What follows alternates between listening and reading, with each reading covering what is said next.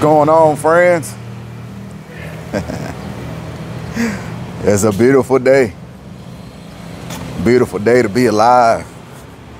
Beautiful day here in Bangkok. I'm headed right back up here to Punnawithi BTS station. I'm gonna take that to Asok where I'll be able to get on the Sukhumvit MRT, the subway, and then I'm gonna take that to the Silom MRT station. And then I'm gonna go try to find the roti girl. Basically, there's another YouTuber that's here in Bangkok and he's done some videos of a lady that has a little cart. And she sells roti. I think that's how you pronounce it. I don't even really know what roti is. I guess it's like an egg dip dough that's fried and then they put whatever type of toppings you want on it, whether it's strawberry or banana, Nutella, etc. Apparently, there was an issue where the police came and made her move her cart and said she couldn't sell where she was at anymore. And the place that they wanted her to move to, the rent was higher. And so she was real distraught on camera because she was basically saying, you know, I got a family to support and we sell this stuff at a very small profit. Now they're killing my profit by making me go somewhere that has higher rent.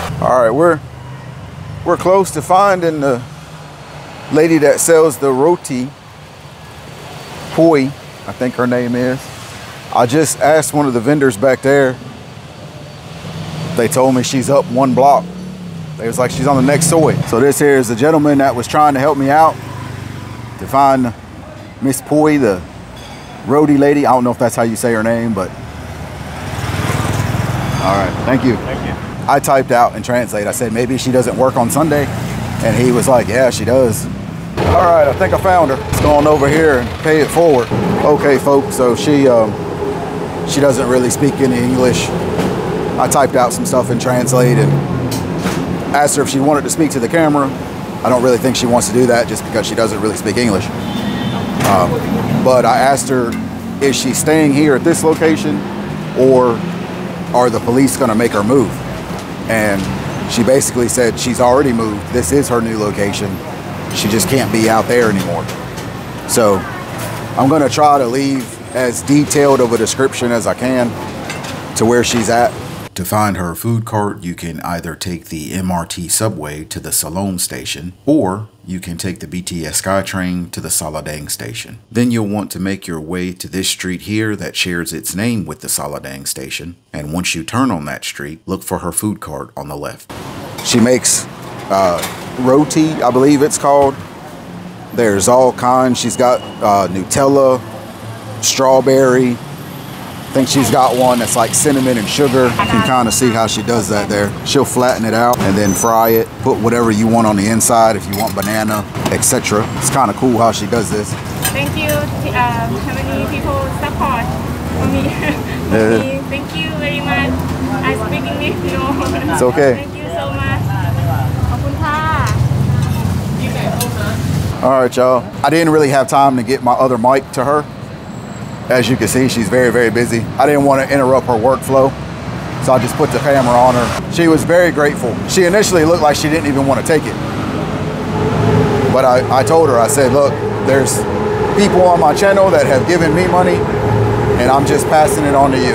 So I just want to take a quick minute and thank the sponsors of today's video, this gentleman here and this gentleman here. $20 is about 655 baht.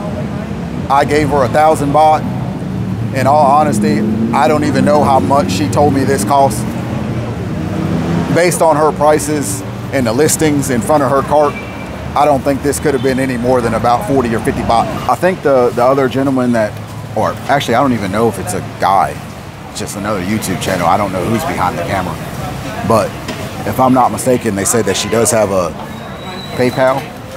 So if I can get that, I'll link all that in the description box below if you want to give her some help.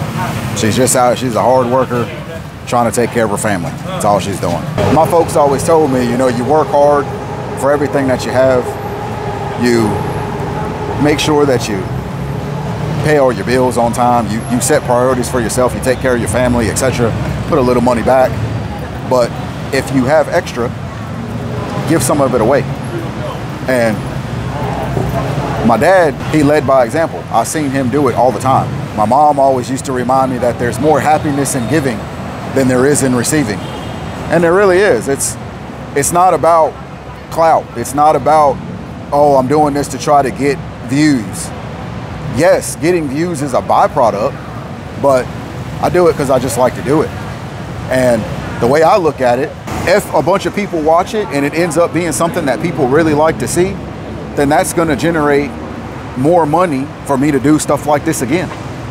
And it will just be a continuous cycle of giving. That's that's the way I look at it. That that's where I would love this channel to go. This is what I'm about. Enjoying my life. And this is what I like to do.